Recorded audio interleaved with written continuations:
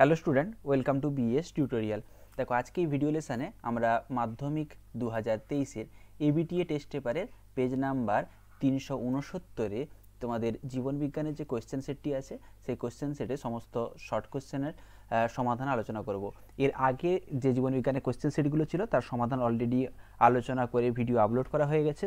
ভিডিওগুলির link নিচে description বক্সে থাকবে, সেখান থেকে তোমরা দেখে নিও। দেখো, বিভাগ ক, প্রথম প্রশ্ন। মশের শুক্রাণু কোন পদার্থের প্রভাবে ডিম্বাণুর দিকে যায়?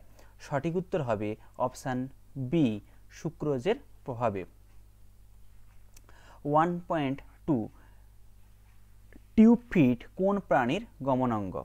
সঠিক উত্তর হবে তারা মাছ। টিউবফিট হচ্ছে তারা মাছের গমনাঙ্গ।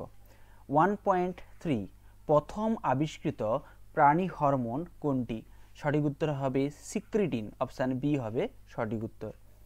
One point four deoxyribose সুগারের কত নম্বর কার্বন পজিশনে একটি অক্সিজেন পরমাণু কম আছে? সঠিক উত্তর হবে দু নম্বর কার্বনে next one point five one point ফাইভে কী আছে? দেখো, স্ত্রীলোকের ডিম্বাণুতে সেক্স ক্রোমোজোম সংখ্যা।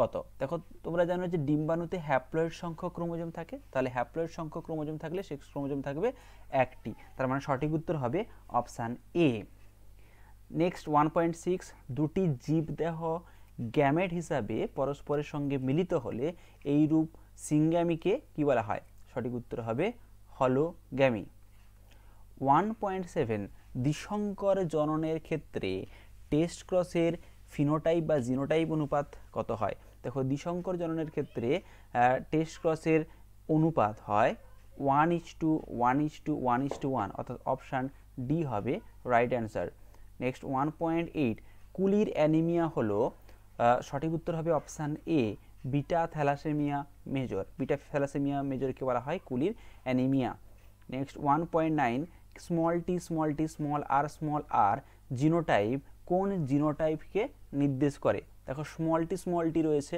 তার মানে অবশ্যই খর্ব হবে বা বেঁটে হবে, আর স্মল আর স্মল আর রয়েছে, তার মানে কুঞ্চিত হবে। তো সঠিক উত্তর হবে অপশান বি বেঁটে এবং কুঞ্চিত।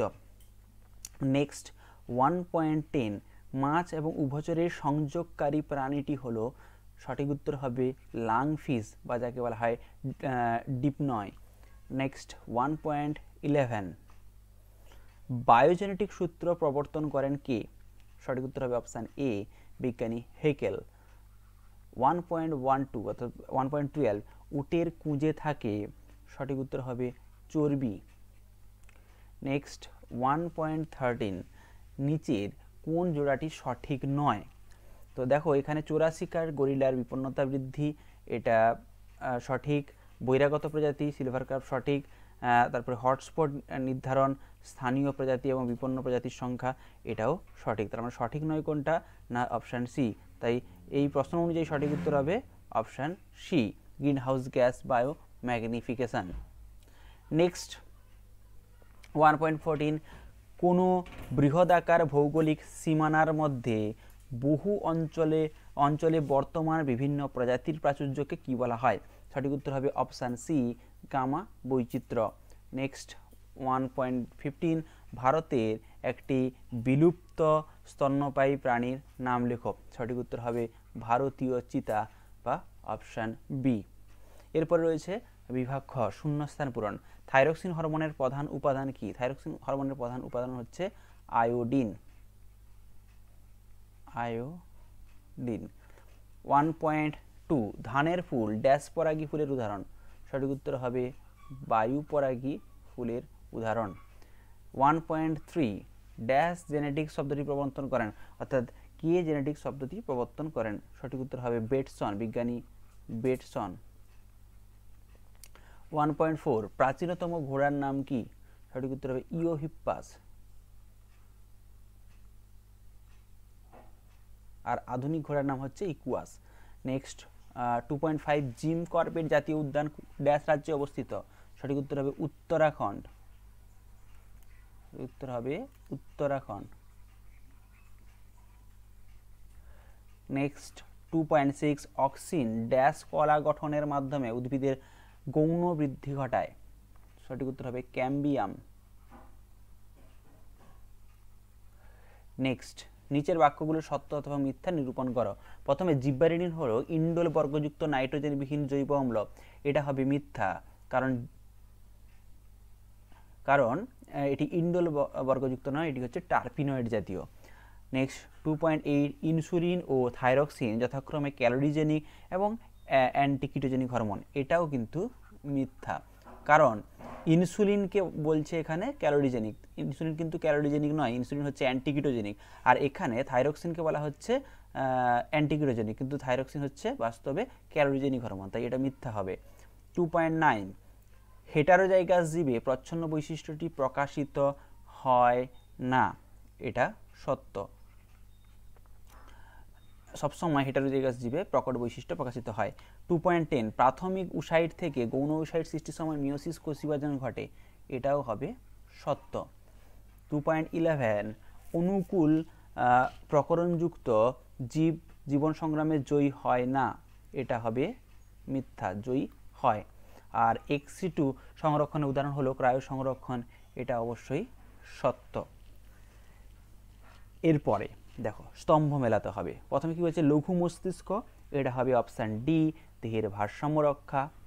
তারপরে রয়েছে জি ওয়ান দশা, এটা হয়ে যাবে option F non histone protein সংশ্লেষ হয় জি ওয়ান দশাতে। তারপরে অটোজোম বাহিত রোগ, এটা হবে অপশান এ থ্যালাসেমিয়া। তারপরে হচ্ছে রেটিয়া মিরাবিলিয়া, মাছের প্রবতা বৃদ্ধি করে, তার মানে এটা হয়ে যাবে বি গির অরণ্য, এটা হয়ে যাবে এশিয়াটিক সিংহ সংরক্ষণের জন্য বিখ্যাত, তার মানে এটা হবে সি এবং পত্রজ মুকুল পাথরকুচি, অর্থাৎ এটা হয়ে যাবে ই।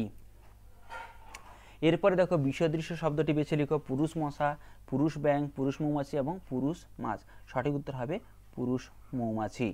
নেক্সট অক্সিটোসিন মস্তিষ্কের কোন অংশ থেকে উৎপন্ন হয়? অক্সিটোসিন পশ্চাৎ পশ্চাৎ পিটুইটারি থেকে। পশ্চাৎ পিটুইটারি অক্সিটোসিন এবং ভেসোপ্রেসিন পশ্চাৎ পিটুইটারি থেকে নিঃসৃত হয়। তারপরে two point twenty one capital B small B এবং স্মল বি স্মল বি একই স্মল বি স্মল বি এই দুটি জিনোটাইপের ফিনোটাইপ কি একই না ভিন্ন? অবশ্যই ফিনোটাইপ একই হবে। তারপরে দেখো two point twenty two protanopia কি? প্রোটানোপিয়া হচ্ছে লাল বর্ণান্ধতা। লাল বর্ণান্ধতাকে বলা হয় প্রোটানোপিয়া। এর আরেকটি নাম হচ্ছে Daltonism. Next two point twenty three চারটি বিষয়ের মধ্যে তিনটি বিষয়, একটি বিষয়ের অন্তর্গত, সেটা খুঁজে বের করতে হবে। অভয়ারণ্য ইনস্টিটিউট সংরক্ষণ, জাতীয় উদ্যান এবং বায়োস্ফিয়ার রিজার্ভ রয়েছে। এর মধ্যে অভয়ারণ্য, জাতীয় উদ্যান বায়োস্ফিয়ার রিজার্ভ ইনস্টিটু সংরক্ষণের সঙ্গে যুক্ত। Next two point twenty four দূরের খাদ্য ভাণ্ডার উৎস সন্ধানের পর মৌমাছি যে ড্যান্স করে, তার নাম কি?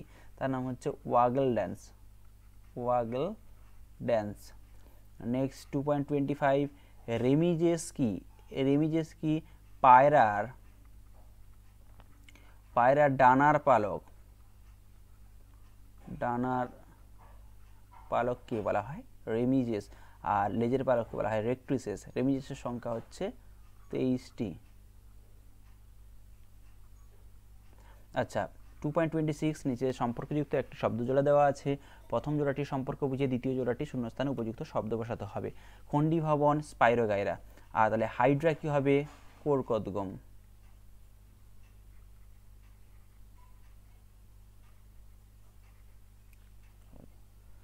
এটা হবে কোরকদগম